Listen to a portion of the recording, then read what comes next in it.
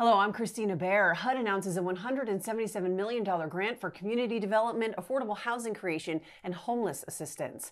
New rule from the AG says individuals with bench warrants for minor crimes can't be arrested, but it only applies to people who have municipal court bench warrants.